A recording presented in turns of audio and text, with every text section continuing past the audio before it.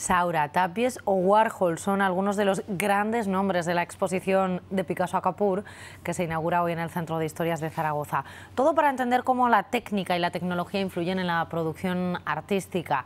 Es una muestra de obra gráfica que se presenta de manera muy didáctica, amenamente.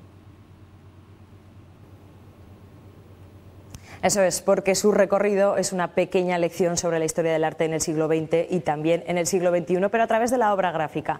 Es decir, esa obra que puede ser traspasada a papel y que permite, por tanto, no hacer una obra única, sino una serie de obras exclusivas que suelen ir numeradas, como por ejemplo esta que vemos aquí, para saber cuántas obras hay en circulación. Aquí vemos el trabajo de artistas españoles, pero también de artistas del resto del mundo y sobre todo es muy didáctica, como decís, porque nos permite ver un poco la evolución en las tendencias a lo largo del siglo XX y también en las técnicas dentro de esa obra gráfica que van desde las más manuales que utilizaban Miró o Picasso a principios del siglo XX hasta las digitales de Murakami ahora en el XXI.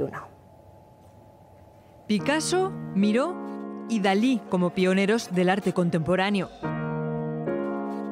Tapies o Chillida como exponentes de la abstracción Frente a ellos, artistas europeos y americanos que dejan ver el lugar que ocupa la obra gráfica de España en el mundo claramente el movimiento pop eh, surgió eh, tanto en Inglaterra como en Estados Unidos.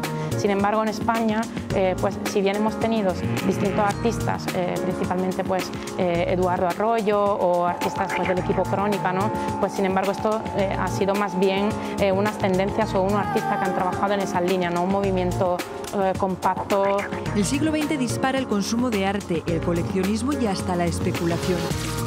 Las obras pasan de ser piezas únicas a formar parte de una serie exclusiva. Pasamos de la evolución de las técnicas a la de la tecnología. Encontramos pues, desde las técnicas tradicionales, eh, como pueden ser agua fuerte, agua tinta o litografía, pues hasta llegar a litografías hostes, en el caso pues, eh, de artistas japoneses. ¿no? También la obra seriada llegó a la escultura con esa idea de hacer más accesible el arte a los ciudadanos.